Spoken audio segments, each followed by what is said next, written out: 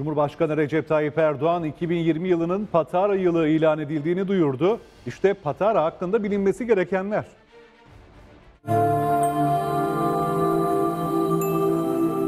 turizm sektörümüz açısından önem taşıyan bir müjdeyi milletimizle paylaşarak tamamlamak istiyorum. 2020 yılını Patara yılı ilan ettik. Cumhurbaşkanı Recep Tayyip Erdoğan müjdeyi böyle verdi. Bu açıklamanın ardından gözler Patara'ya çevrildi.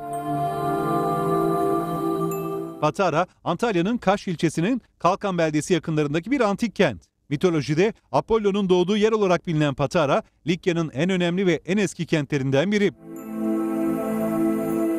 Ayakta kalan en eski demokratik meclis binası bu şehirde bulunuyor. Burası 2010'da Türkiye Büyük Millet Meclisi tarafından restore edildi. Likya'nın ana liman şehri olan Patara bizim tarihimizin de önemli sembollerinden biridir.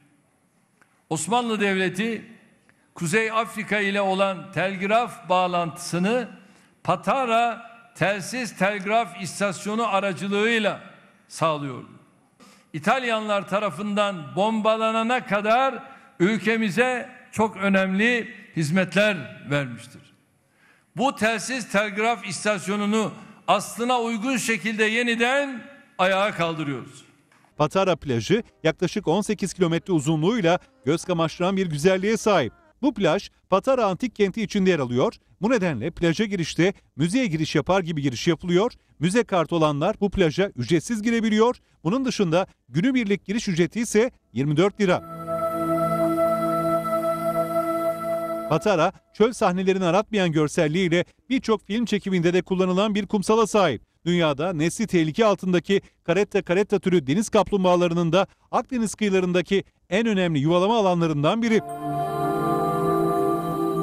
Antik plajda bu yıl 286 yuvayla tüm zamanların en çok yuva sayısına ulaşıldı. 21.821 yumurtadan çıkan 17.323 yavru deniz kaplumbağası denize ulaştı.